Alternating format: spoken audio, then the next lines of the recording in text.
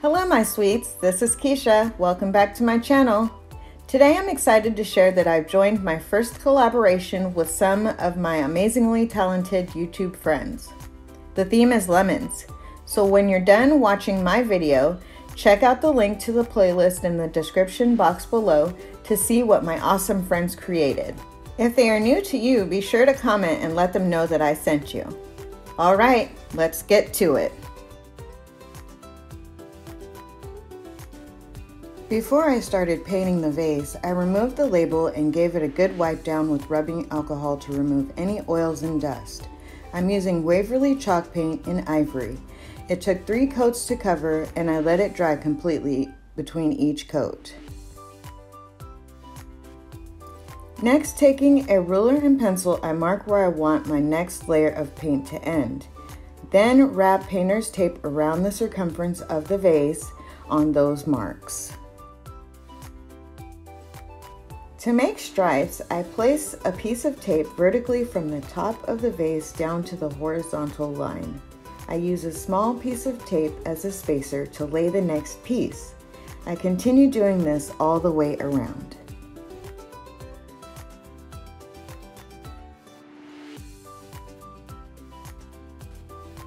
I use Waverly chalk paint in the color pool to paint my stripes. I did two coats, letting it dry completely between each coat.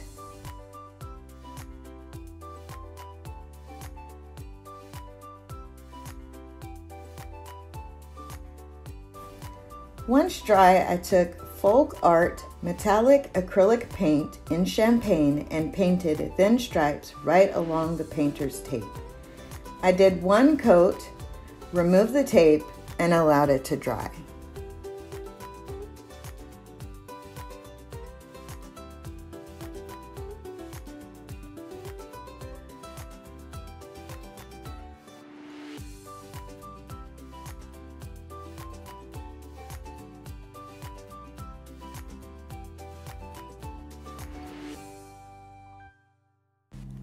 Lay out the napkin and place the vase on top to get an idea of where to cut. Then remove the second ply to prepare for decoupage.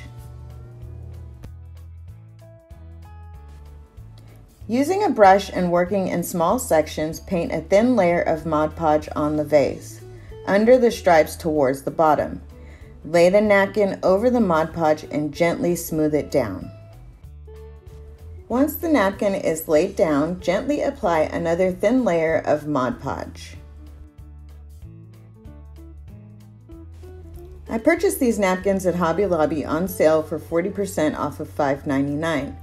Always shop sales or use coupons.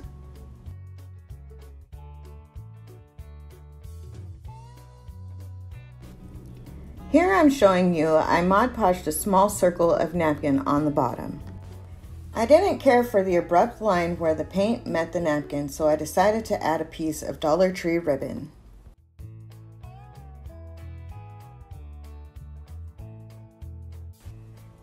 And it's done!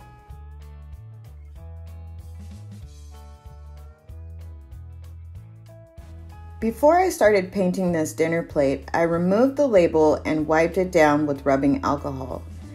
To make the stripes, I placed painter's tape on the back of the plate using the same method as the vase. I came in with the Folk Art metallic acrylic paint in champagne and painted thin stripes right along the painter's tape. I did two coats and allowed it to dry.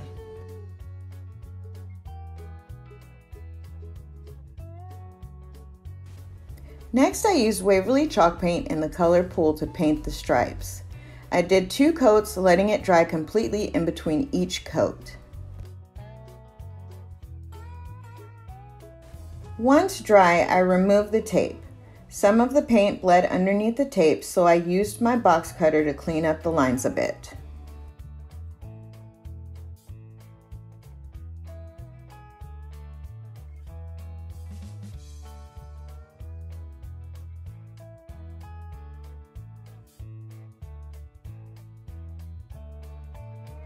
Next, I came in with Waverly chalk paint in ivory. It took three coats to cover and I let it dry completely in between each coat.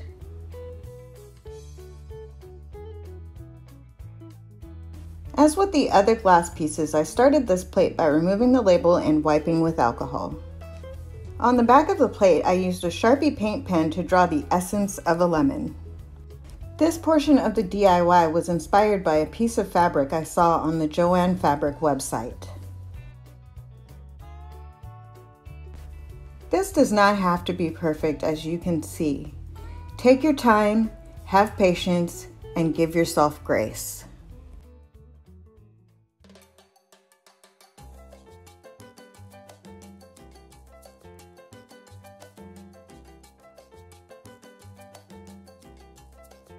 Next, to color in the lemons and their leaves. In two small bowls, I poured a little water and Elmer's glue. I added three drops of green food coloring in one, three drops of yellow in the other, and mixed thoroughly. Then taking a fine paintbrush, color in the lemons and their leaves. I painted three layers to get the intensity I wanted and let it dry completely between each coat.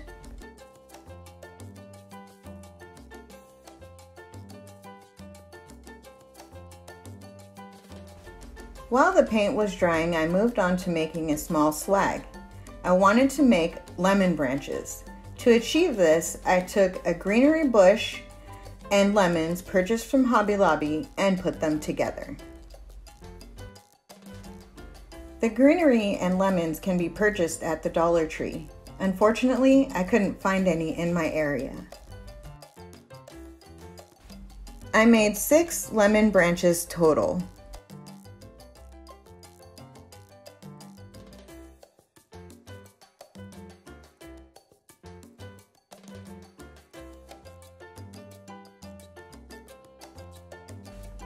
Then taking three of the lemon branches and two crocus flowers from Dollar Tree, I made two clusters.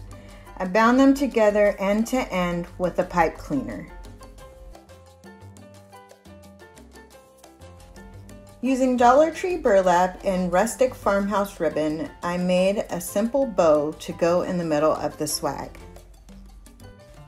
When I went to display this swag, it was a little too big for what I wanted. I ended up reducing the size by removing one lemon branch and one crocus flower from each side.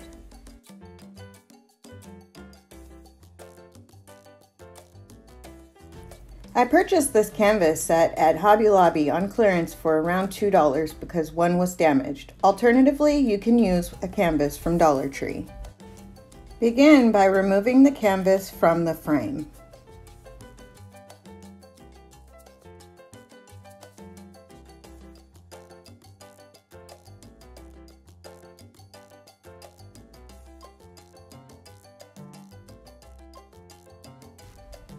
Next, you'll want to cut your piece of fabric to fit on the back of the frame.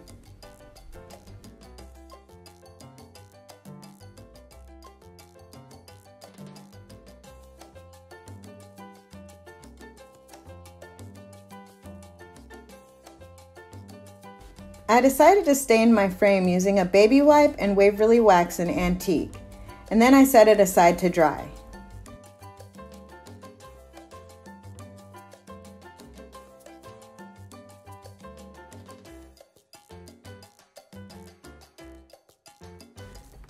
While that was drying, I painted the wooden plaque with Waverly chalk paint in the color pool, making sure to get the sides and then let it dry completely.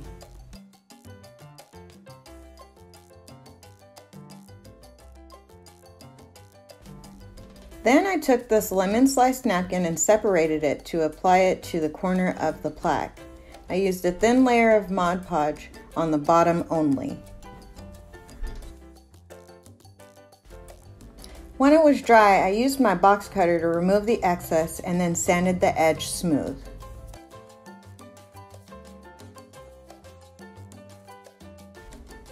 Now I'm going to transfer my words onto the plaque. Prepare the transfer by turning it over and coloring the back with a pencil.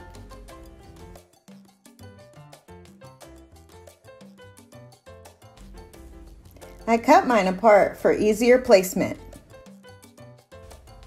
Once I decided where I wanted the words to be, I taped them down.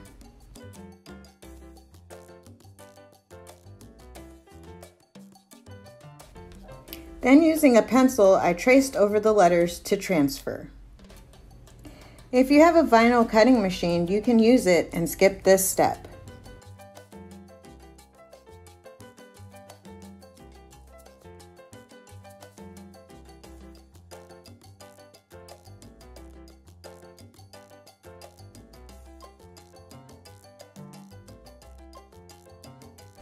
At this point, I added a thin layer of Mod Podge on top of the lemon.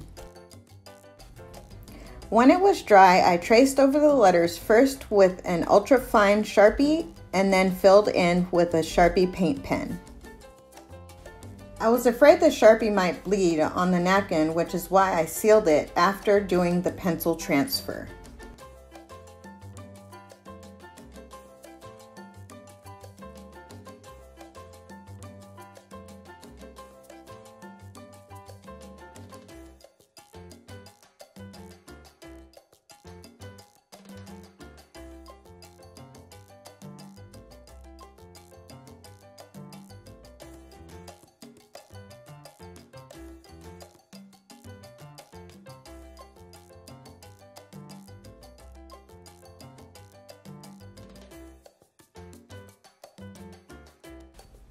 The edge was looking a little plain to me, so I added dashes around the border with the Sharpie. Then to dress it up a little bit more, I used a chip brush and dry brushed ivory chalk paint over the entire sign. Then I sealed the entire sign with matte finish Mod Podge and then set it aside to dry.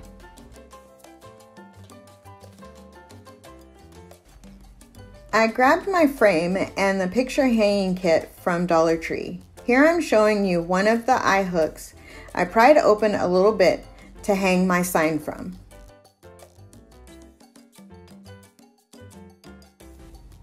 I took that eye hook and screwed it into the center inside top of the frame.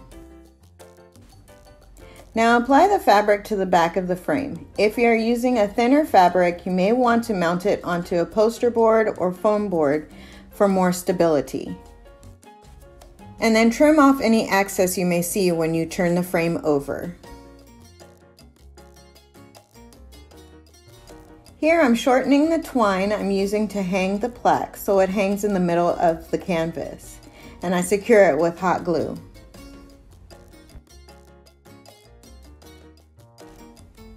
To embellish my frame further, I'm going to add some lemons and some greenery.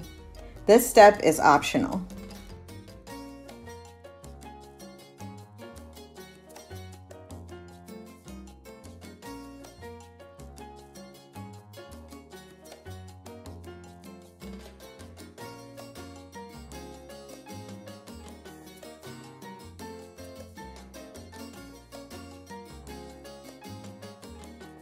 Hang your plaque on the hook and you're all done.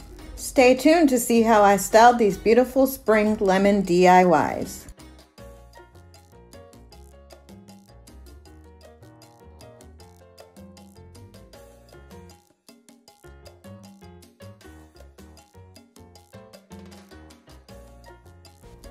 If you enjoyed this video, hit the like button and leave me a comment below. If you'd like to see more, subscribe to my channel and select all notifications so you don't miss my next video.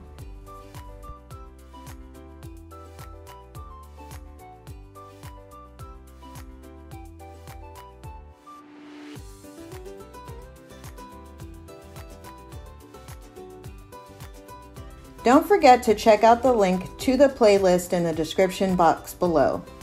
Thank you so much for watching, and remember, Love, inspire, create. See you next time.